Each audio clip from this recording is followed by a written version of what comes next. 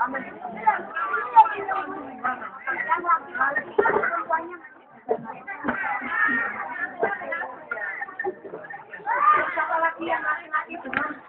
ini persiapan mau penampilan angklung dari TK Masjid Jami Kota Malang. Ini dalam rangka memperingati uh, Hari Kartini dengan tema Kebiar Hari Kartini bersama KBTK Masjid Jami Kota Malang. Oke, kita tunggu habis ini penampilannya.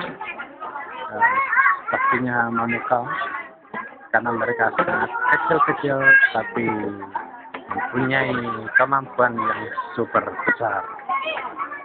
Oke, kita tunggu ya di video berikut ini.